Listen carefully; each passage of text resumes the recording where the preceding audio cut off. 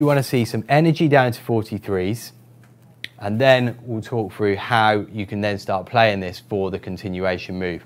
I may have to step away from the screen just to make sure that the ladder is actually showing us enough space. So we're now in at 51 and this is that move back up onto that trigger point area. So you're thinking here, short 51, you want your stops, then back up above 53s, maybe 54, 55 area. And then once we start coming off, you've seen a little bit of energy and the DAX likes to do this, little stab, and then it starts to trade down. So we're now through 43. If you want to add on to this trade, you could be adding on at 43.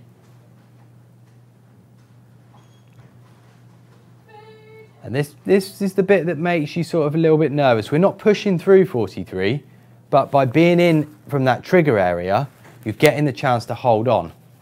Now just scroll this down a little bit so that we can see how the next part of the trade plays out. So remember, you're now thinking, right, below 43, I want to be in this trade, I want to stay in this trade. And you're looking, ultimately, your target is down at 06s.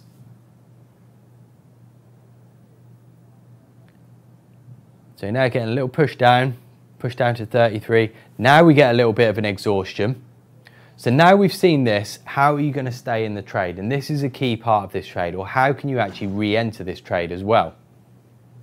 And what you can see here in the DAX is we've got volume done just below 41.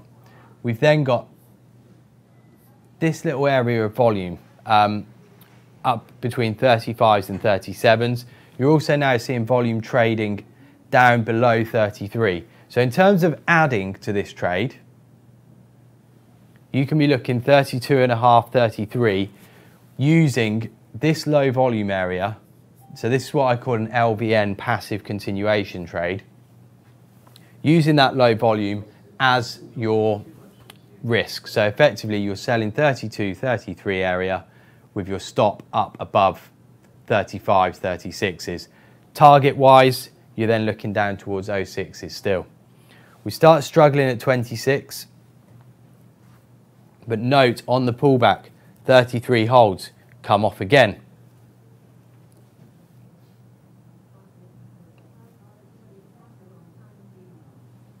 this is where you require a little bit of patience. You've done the hard work in getting into the trade.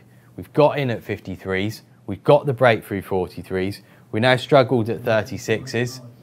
And so this is where you can think, right, I'm still willing to add back on as we um, run back higher. So as long as we stay below 32s, you're willing to stay in this trade. Still thinking that 06 is going to be your target.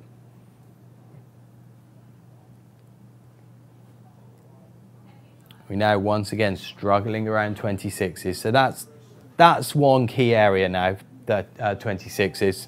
And this then starts to take its time in the way that the market comes off. Continue to hold 26s. But you're now round about 20 ticks on side. You can let this trade go. You can let wait it out a little bit down to 06s. What you're getting from a candlestick point of view as well Another way to help you stay in this trade, you're getting um, one time framing on a one minute candles. So each candle, if you put your stop above the high of the previous, you don't get stopped out on it. So that's another way to keep you in this trade. So you've got the passive LVN trade to get you in or keep you in. We then just had another little push down and then you can use that one time framing to allow you to stay in this trade. What we actually get, I won't play the video all the way back for five minutes as, as we get the retracement, but we get the first move down as far as 12s, which is pretty much just where we're at now. What we then get is a bounce all the way back. And if you keep your offers there, keep in mind this area that we've struggled at. This move back top of that high, 33. And then you get that final move down to 06s.